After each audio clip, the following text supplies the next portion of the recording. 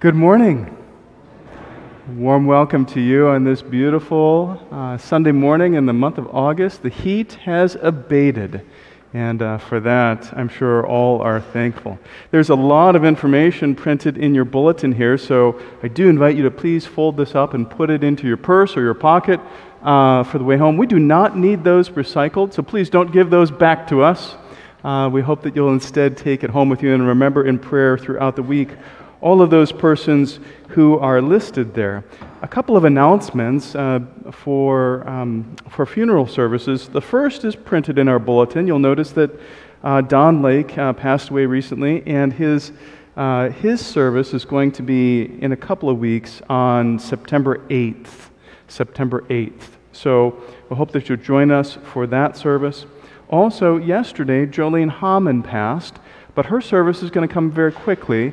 Uh, the service for Jolene Hammond will be here at St. John's this Tuesday morning, so just a couple of days from now at 10:30 in the morning. So please take note of that, and if you would, pass the word, pass the word around.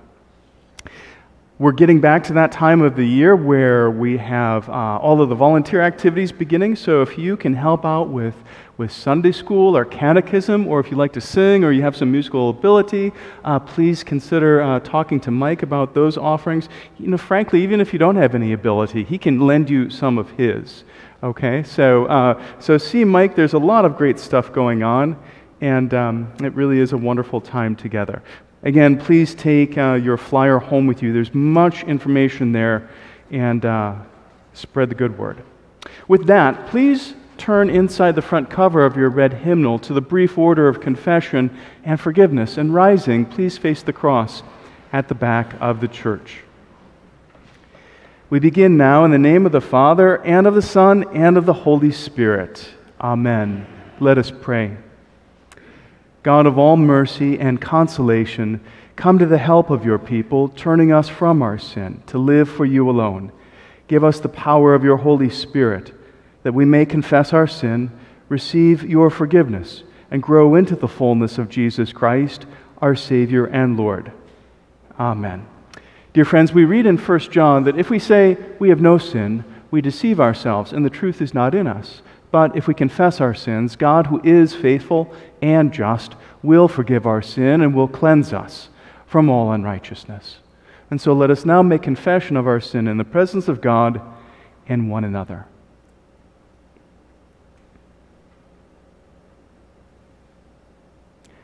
Most merciful God, we confess that we are captive to sin and cannot free ourselves.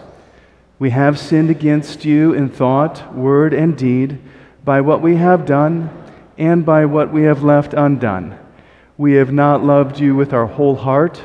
We have not loved our neighbors as ourselves. For the sake of your Son, Jesus Christ, have mercy on us. Forgive us, renew us, and lead us, so that we may delight in your will and walk in your ways to the glory of your holy name. Amen. In the mercy of Almighty God, Jesus Christ was given to die for us, and for his sake, God forgive, forgives us all of our sins. As a called and ordained minister of the Church of Christ, and by his authority, I therefore declare to you the entire forgiveness of all your sin. In the name of the Father, the Son, and the Holy Spirit. Amen. Our gathering hymn, number 434 Jesus shall reign.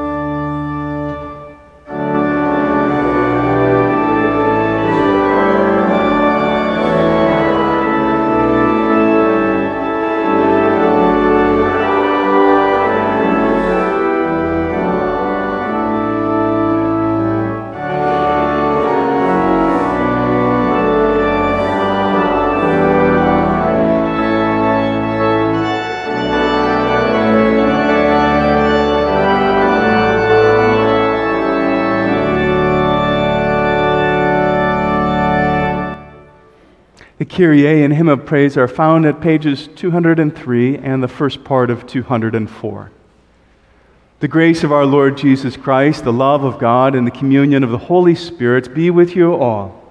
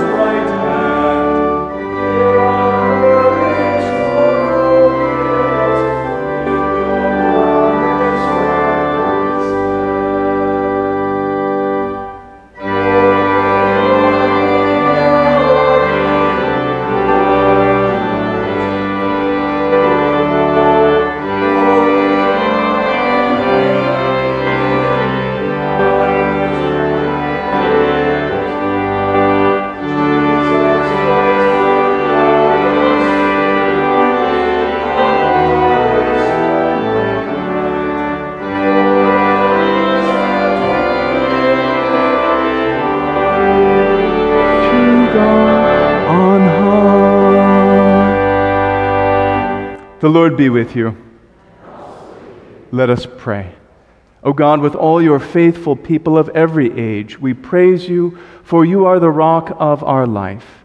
Be the strong foundation and form us into the body of your Son, that we may gladly minister to all the world. For we ask these things through your Son, Jesus Christ, our Savior and Lord. Amen. Please be seated for the readings.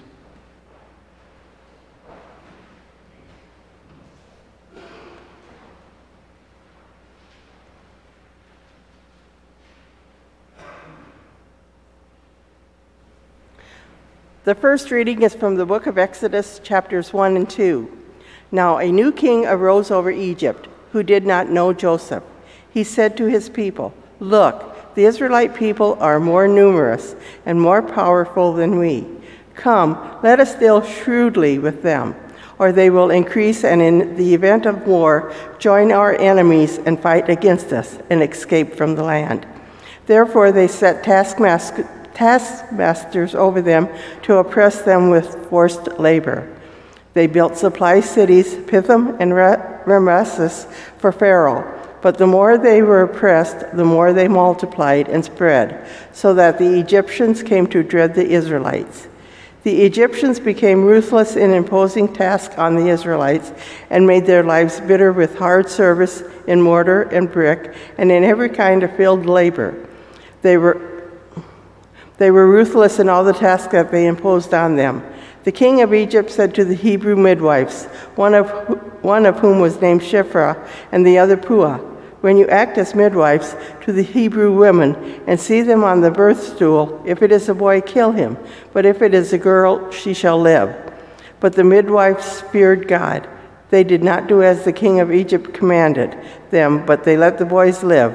So the king of Egypt summoned the midwives and said to them, Why have you done this and allowed the boys to live? The midwife said to Pharaoh, Because the Hebrew women are not like the Egyptian women, for they are vigorous and give birth before the midwife before the midwife comes to them. So God dealt with them with well with the midwives, and the people multiplied and became very strong. And because the midwives feared God, he gave them families. Then Pharaoh commanded all his people, Every boy that is born to the Hebrews you shall throw into the Nile but you shall let every girl live. Now a man from the house of Levi went and married a Levite woman. The woman conceived and bore a son, and when she saw that he was a fine baby, she held him three months. She hid him three months. When she could hide him no longer, she got a papyrus basket for him and plastered it with bit, bitumen and pitch. She put the child in it and placed it among the reeds on the bank of the river. His sister stood at a distance to see what would happen to him. The daughter of Pharaoh came down to bathe at the river. While her attendants walked beside the river, she saw the basket among the reeds and sent her maid to bring it. When she opened it, she saw the child. He was crying, and she took pity on him. This must be one of the Hebrews' children, she said. Then his sister said to Pharaoh's daughter, Shall I go and get you a nurse from the Hebrew women to nurse the child for you? Pharaoh's daughter said to her, Yes. So the girl went and called the child's mother. Pharaoh's daughter said to her, Take this child and nurse it for me, and I will give you your wages. So the woman took the child and nursed it. When the child grew up, she brought him to, to Pharaoh's daughter, and she took him as her son. She named him Moses because she said, I drew him out of the water. The word of the Lord. Thanks be to God. Please join in a responsive prayer of Psalm 138. I give you thanks, O Lord, with my whole heart. Before, Before the, the gods, gods, I, sing, sing your, your praise. praise. I bow down toward your holy temple and give thanks to your, to your name for your steadfast love and your faithfulness. For, you, have exalted your name and your, word, word above, everything. above everything. On the day I called you, you answered me, you increased my strength of soul. All the kings of the earth shall praise you, O Lord, for they have heard the words of your mouth. They shall sing of the ways of the Lord, for great is the glory of the Lord. For though the Lord is high, he regards the lowly, but the haughty he perceives from far away. Though I walk in the midst of trouble, you preserve me against the wrath of my enemies. You stretch out your hand, and your, and your right, hand delivers me. The Lord will fulfill his purpose for me, your steadfast love. O Lord, endures forever. Do not, Do not forsake the work of your hands. Amen. The second reading is from the book of Romans, chapter 12. I appeal to you, therefore, brothers and sisters, by the mercies of God, to present your bodies as a living sacrifice, holy and acceptable to God which is your spiritual worship. Do not be conformed to this world, but be transformed by the renewing of your minds, so that you may discern what is the will of God, what is good and acceptable and perfect. For by the grace given to me, I say to everyone among you, not to think of yourselves more highly than you ought to think, but to think with sober judgment, each according to the measure of faith that God has assigned for as in one body we have many members, and not all the members have the same function. So we, who are many, are one body in Christ, and individually we are members one of another. We have gifts that differ according to the grace given to us prophecy in pro- proportion to faith, ministry in ministering, the teacher in teaching, the exhorter in exhortation, the giver in generosity the leader in diligence, and the compassionate in cheerfulness. This is the word of the Lord. Thanks, Thanks be, be to God. God. Please rise for the reading of the Holy Gospel.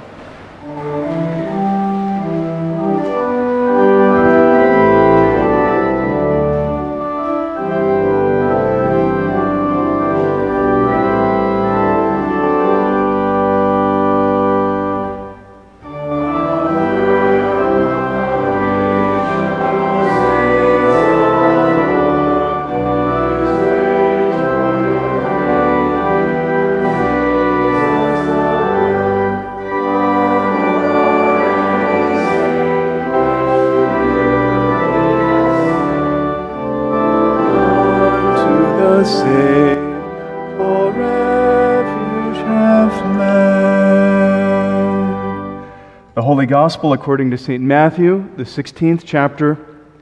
Glory to you, O Lord. Now, when Jesus came to the district of Caesarea Philippi, he asked his disciples, Who do people say that the Son of Man is? And they said to him, Some say John the Baptist, but others Elijah, and still others Jeremiah or one of the prophets. Jesus said to them, But who do you say that I am? Simon Peter answered, You are the Messiah the Son of the living God. And Jesus answered him, Blessed are you, Simon, son of Jonah, for flesh and blood has not revealed this to you, but my Father in heaven. And I tell you, you are Peter, and on this rock I will build my church, and the gates of hell will not prevail against it. I will give you the keys to the kingdom of heaven, and whatever you bind on earth will be bound in heaven and whatever you loose on earth will be loosed in heaven. Then Jesus sternly ordered the disciples not to tell anyone that he was the Messiah. The gospel of the Lord. Praise to you, O Christ. Please be seated. Well, first of all, I should tell you all grown ups that for the noisy offering this morning, you can put your pennies and nickels and dimes and quarters into, there's a couple of buckets right on the pedestals at the end of the center aisle here on your way home this morning. The noisy offering, of course, is in support of the Sioux City Gospel Mission.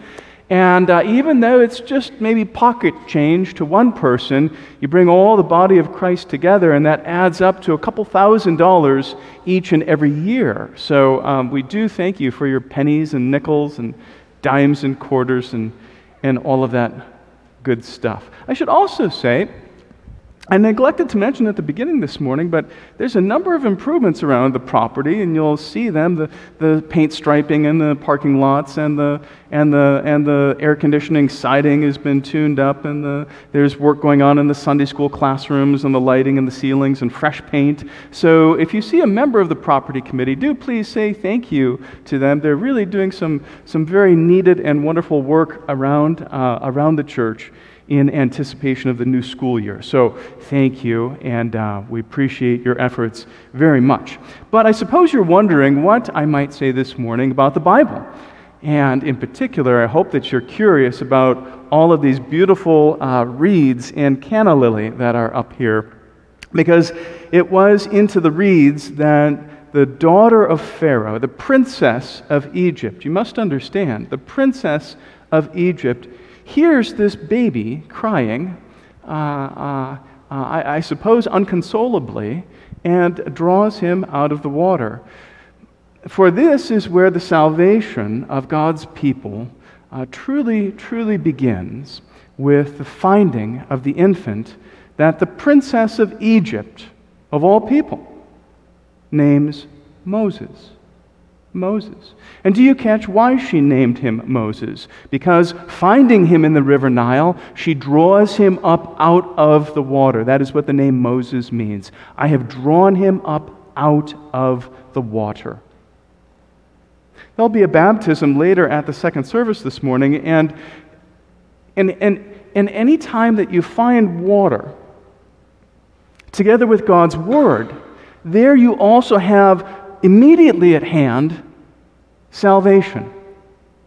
Any place, any passage of Scripture that you come across, whether we are talking about in the beginning when God separates the waters above the dome from those beneath, or whether you're talking about the great flood with Noah and the ark, or whether you're talking about Moses being drawn up out of the river Nile, or whether you're remembering him striking the rock in the middle of the wilderness and water gushes forth from it.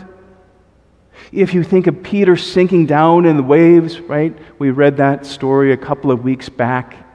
And he, he, he says, Lord, save me. And Jesus immediately catches him by the hand and, and draws him up out of the water. In the end of all things, when God's people finally all are together in the city of God, in the New Jerusalem, What do they walk alongside? But the river of the water of life, the river of life that flows through the middle of the city. Whatever the story, whatever the occasion for God's people, whenever you find water in the Bible, together, of course, it is, with God's Word, then you have God acting in the world. Acting in the world for salvation. And so it is that a very strange person, the daughter of Pharaoh himself, the one who has issued the edict that all the boys shall be cast into the river Nile so that they may perish, and undoubtedly they died quickly. So it is by this strange bedfellow, you might say, the princess herself, that God's salvation comes to his people. Because don't ever mistake it. Even though it may be bewildering and befuddling, God is at work in the world and has always been. So it is that this agent of death, the River Nile, with its crocodiles and floods and all of these things, becomes the source of life. And not just for the one child, but for the many for the nation of Israel. From this one little baby, woven into a basket of, of, of reeds.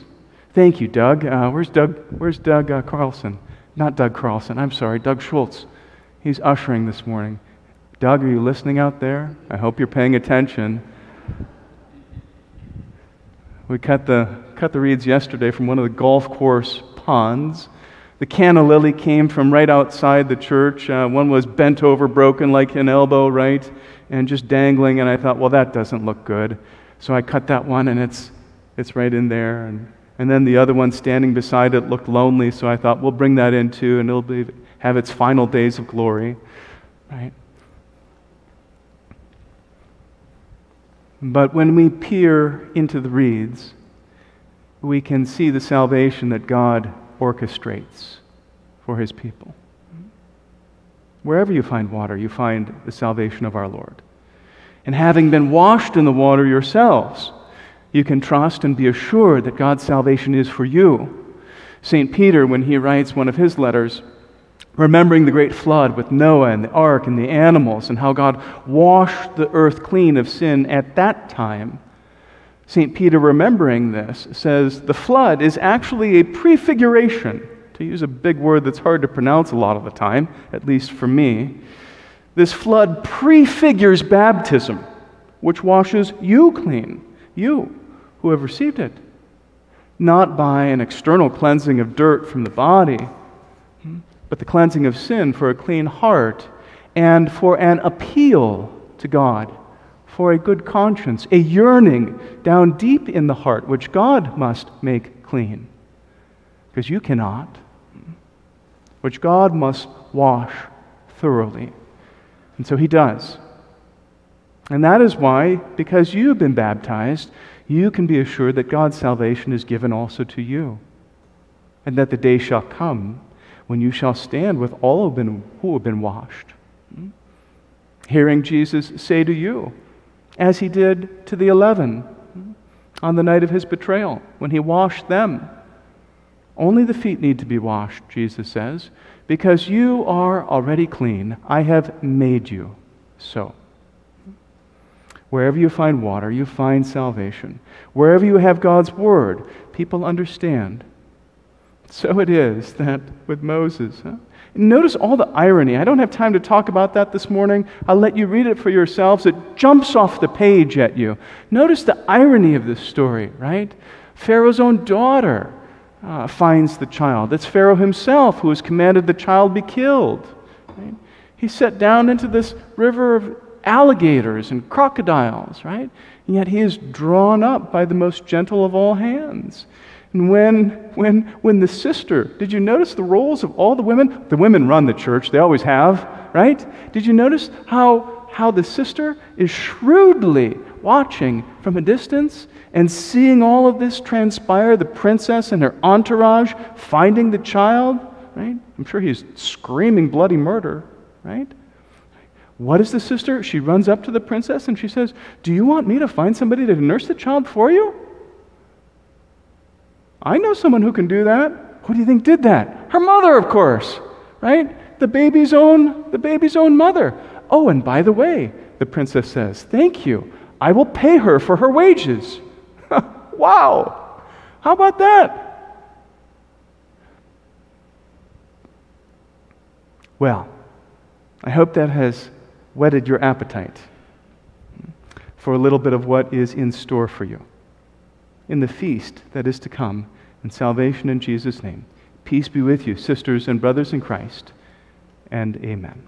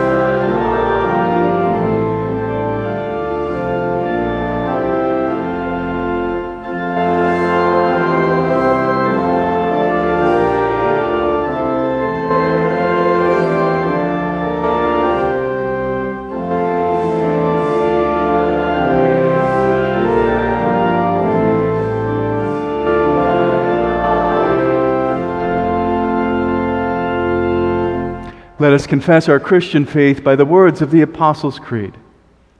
I believe in God the Father Almighty, creator of heaven and earth. I believe in Jesus Christ, God's only Son, our Lord, who was conceived by the Holy Spirit, born of the Virgin Mary, suffered under Pontius Pilate, was crucified, died, and was buried. He descended to the dead. On the third day, he rose again. He ascended into heaven. He is seated at the right hand of the Father, and he will come to judge the living and the dead. I believe in the Holy Spirit, the holy Catholic Church, the communion of saints, the forgiveness of sins, the resurrection of the body, and the life everlasting. Amen. Let us join our hearts in prayer for all of God's children in this place and for all in their time of need. O Lord God, we give you thanks and praise that you draw us up out of the deadly waters that rage around us, and that you are at work both in our lives and in the world. O Lord, when we are perplexed and bewildered, when we do not know where salvation shall come from, turn us again to your word, that we may hear your promise and trust in all that you have said you would accomplish. Lord, in your mercy, hear our prayer. Especially, we give into your loving and strong arms all of our friends and family and neighbors and community here.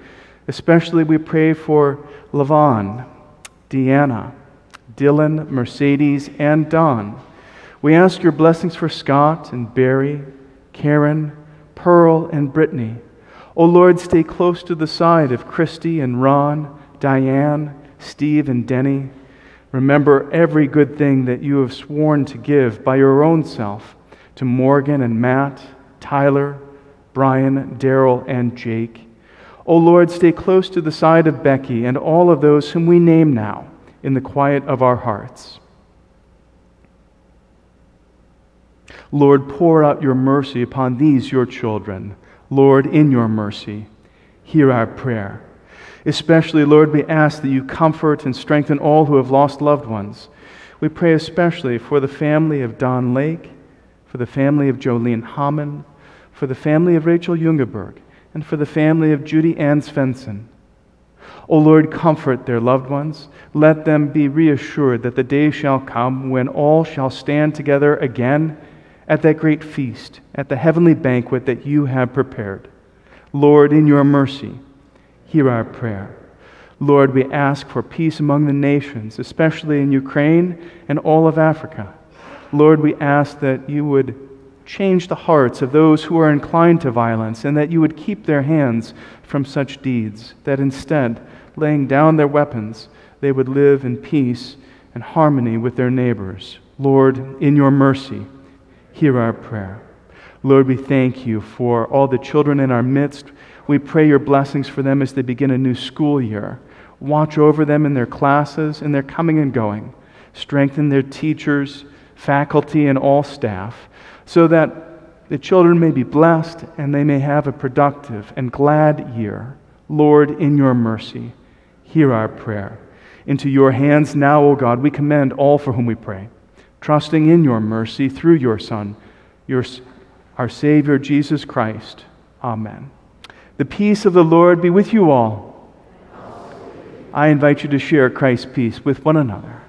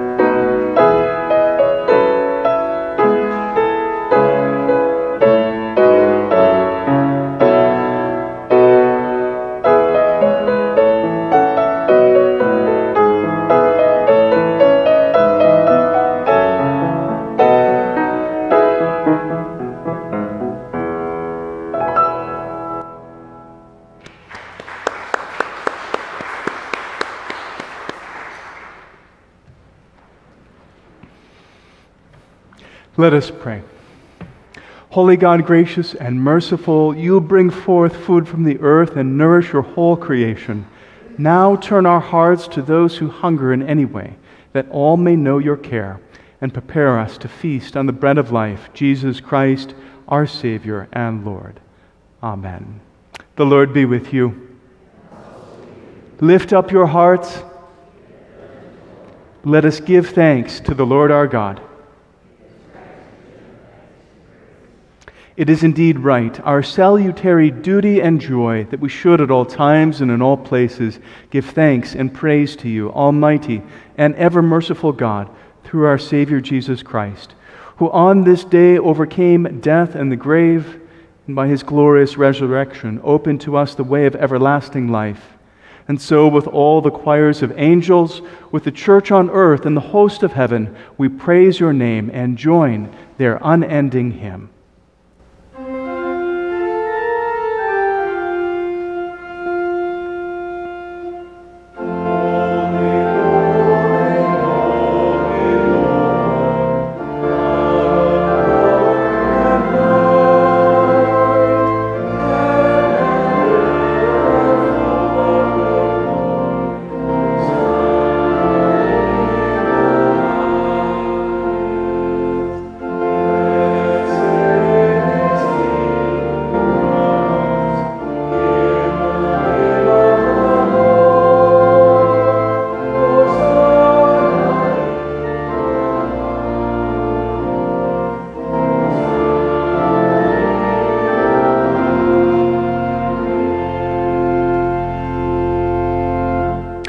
Brothers and sisters in Christ, in the night in which he was betrayed, our Lord Jesus took bread, gave thanks, broke it, and gave it to his disciples, saying, Take and eat. This is my body, given for you.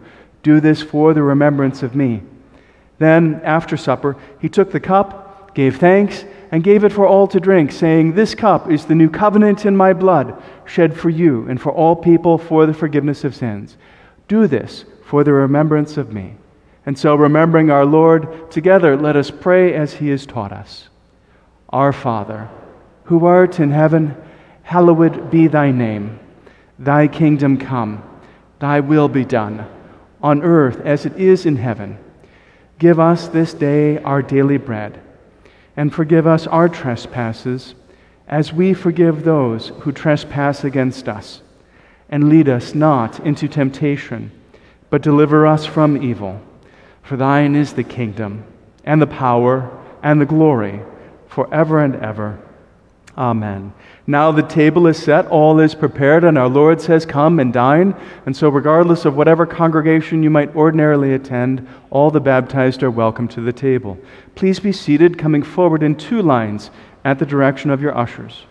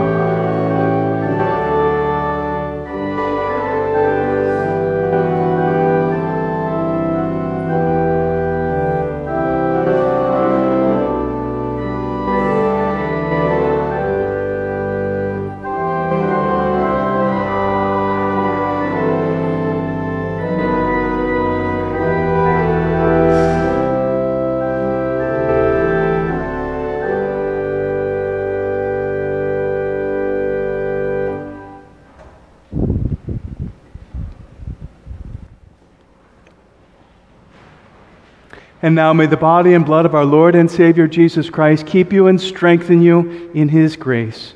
Amen. Let us pray. We give you thanks, Almighty God, that you have refreshed us through the healing power of this gift of life. In your mercy, strengthen us through this gift, in faith toward you, and in fervent love toward one another, for the sake of Jesus Christ, our Savior and Lord. Amen. And now may the Lord bless you and keep you. The Lord make his face shine upon you and be gracious unto you. The Lord look upon you with favor and give you peace. In the name of the Father, the Son, and the Holy Spirit. Amen. Our sending hymn this morning, number 638.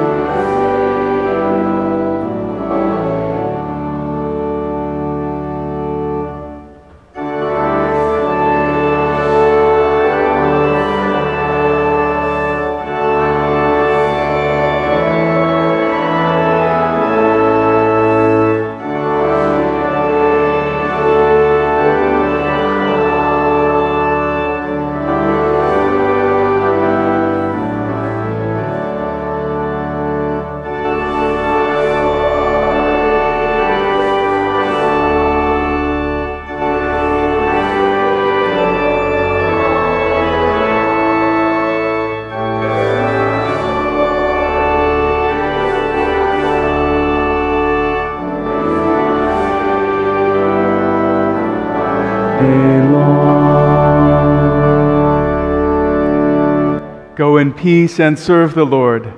Thanks be to God.